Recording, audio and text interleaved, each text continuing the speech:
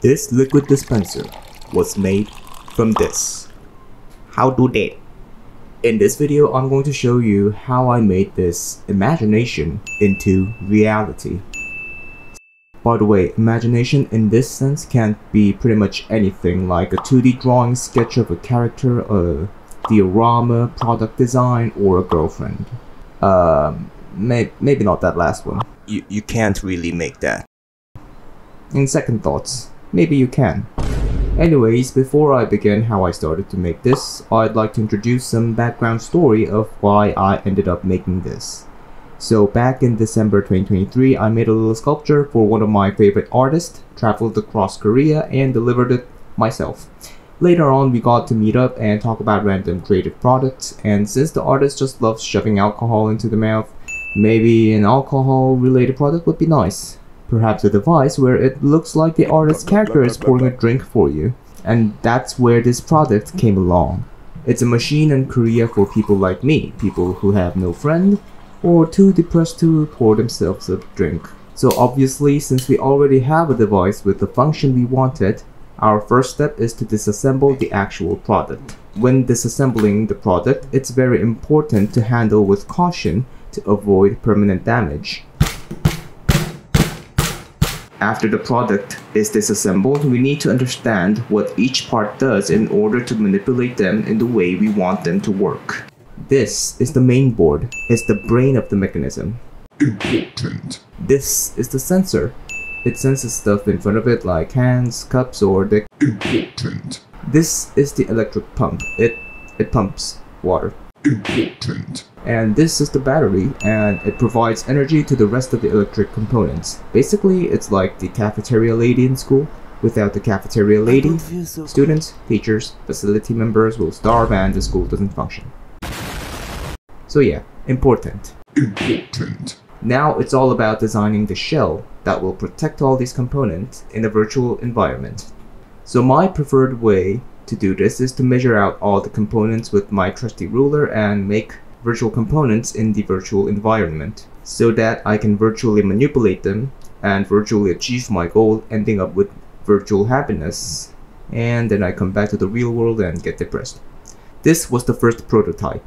As you can see the walls are pretty thick so I can't really access the button which should have been accessed through pressing one of the walls but since the walls are too thick the wall cannot deform and it can't it doesn't let me touch the button so we had to make some change so what can we do to make the walls more flexible or less uh, rigid okay so this is our first prototype the first prototype as you can see is very thick and it's also is made out of PLA so it's very hard yeah, it's very hard. Meanwhile, this is the second prototype. And as you can see, it's very thin. Well, not very, but relatively thinner than the first prototype. And also, this one is made out of PETG. Basically, a different material and one of its feature is that it's much more flexible than PLA. This part, as you can see, this part is darker because it's a see-through. If you press this part, you can see that it deforms very easily. I made this part thin so that our uh, spring conductive button can fit right here like this. I can access the button through this thin wall. However, there is something that I have to change the the wall that I've put inside is too thin. It has to come out more so that it can, you know, sustain that certain distance, blah, blah, blah. I don't know what I'm talking about. Let's check if the other features are working as well. This hole is for the sensor, which is this one right here. Uh, yeah, this one has to be a bit thicker as well. If I keep this module up to the wall, due to this part doesn't go flat to the wall, it has a little space, it has a little dent inside, and I don't want that, so yeah. This has to be like a few millimeters longer, and this one has to be a few centimeters longer. Other than that, I think, I think it's, we're good to go, I think. Good to go, we just have to thicken these two parts, and we're good to go. Nice. Bread. After upgrading our shell, I tested out the motor function, like how strong the motor is, how much height can the power overcome, blah blah blah. And then I created the case for the silicon, which is used to attach the whole shell into the bottle and pump liquid out.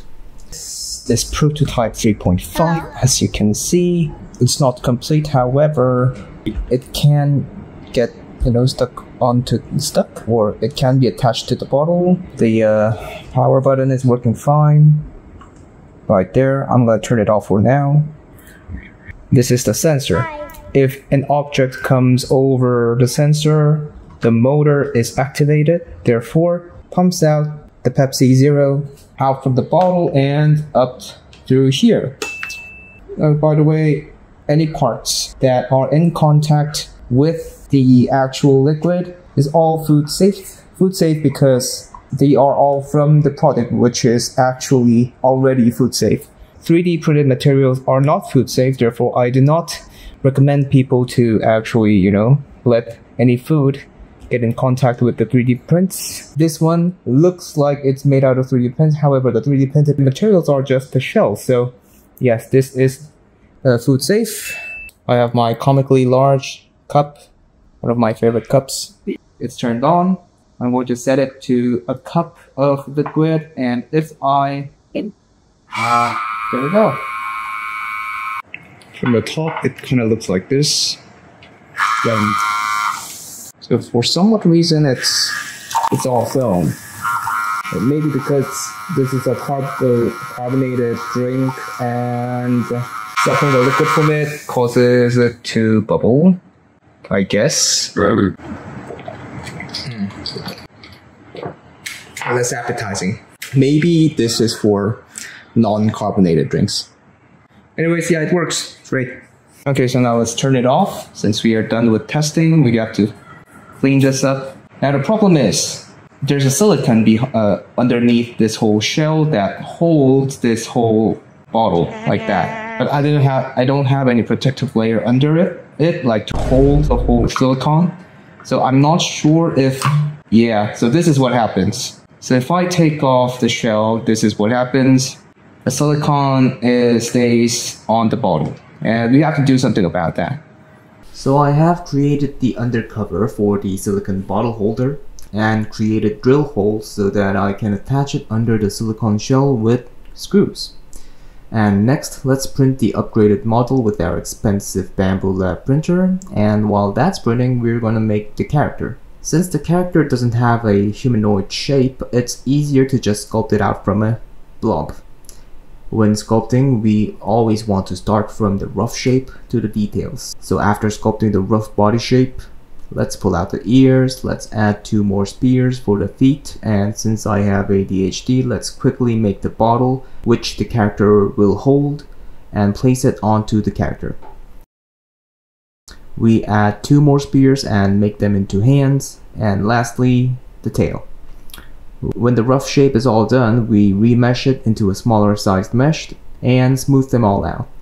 After the character is finished, we can place a curve in the bottle and the character, which resembles the hole that the tube will go through. We will drill the hole using the boolean modifier.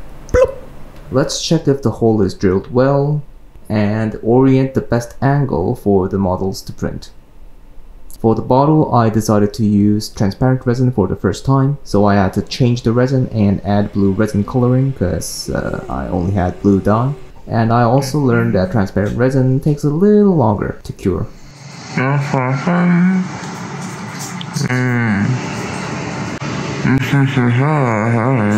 After curing the product, one more time I sanded the surface a little and it became non-transparent. As you can see, it's not clear. It's very opaque or opaque. So, according to the great god of Google, a lot of people said that in order to make this transparent again, all I have to do is spray some of UV gloss, which I do have. So let me try this out.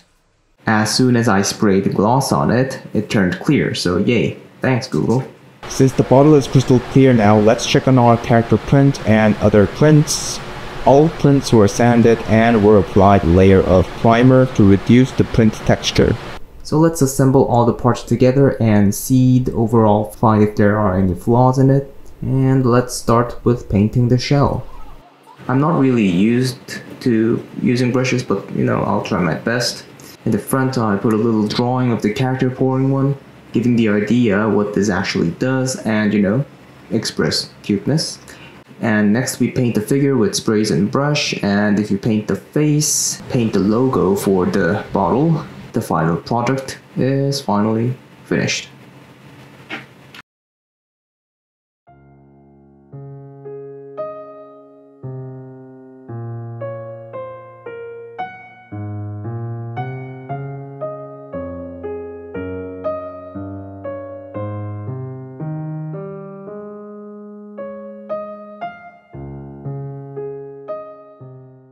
Despite the fact that this project was spontaneous, it is one of my favorite projects I have done so far because I had to deal with electronics that I've never dealt with before and that to me was like an adventure. And generally I just like messing up with electronics. However, the real reason why I had so much fun with this project is because I had so many failures with it. These here are my previous prototypes and every prototype had characteristics that needed revision. So every time I made one prototype, I had to fix it again and again and again, which was in some way a pain, but every time I had resolved a problem, it felt like I'm taking a step towards my goal. And that was the most meaningful part of this whole project. I started up with the roughest idea, which didn't even function the way it should have. And from there on, I started to fix the model one by one, finally resulting with a satisfying model. And honestly speaking, I believe that is the answer to the question from the title, which is how to make imagination become reality. If there's a goal that you want to achieve or make it into reality, you'll go through failures. And so you'll have to seek the reason of failure. Like, did I do something wrong there? Was there a better way to do it? And after that, you find a way to solve the problem based on your knowledge or searching how other people did it. And then carry out the action. And next step, make another failure until you meet your satisfaction. So, yeah, if there's something that you're trying to do right now, something that you want to make it into reality and if you failed along while doing it, I just want to let you know that you're probably doing a great job. So don't give up. Find mistakes, make changes, and fail again. Because you can make your imagination become reality. It just takes time and trials, just like I did. Anyways, this was Korean Butter and uh, I will come back with a new video. Probably something more attractive, more funny, blah blah blah, more MZ, you know. Yeah, what a cheesy ending. Anyways, bye.